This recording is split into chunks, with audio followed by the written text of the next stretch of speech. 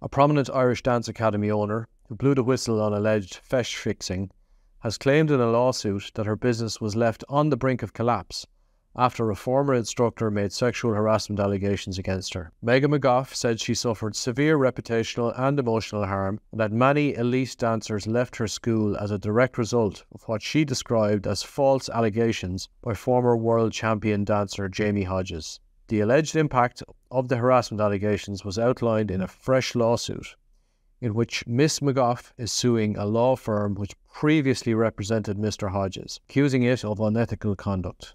Mr. Hodges sued Miss McGough last June, claiming she repeatedly sexually harassed him and then fired him when he rejected her advances. She counterclaimed that they had a consensual relationship and that Mr. Hodges threatened to publish intimate images of her when she refused to leave her husband. But in a fresh twist, Miss McGough has now sued Mr. Hodges' former law firm.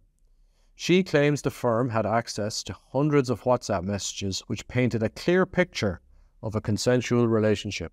Both are well known figures in the world of Irish dancing. She runs the McGough Academy School of Irish Dance in New York, Pennsylvania, and Maryland, and was identified in an unrelated court case as the original complainant to the Dublin headquartered Irish Dancing Commission about alleged widespread cheating in dance competitions. Mr. Hodges, who is based in Bristol, England, is a five time world champion who later became a dance instructor. The legal dispute is unrelated to the scandal over alleged feis fixing.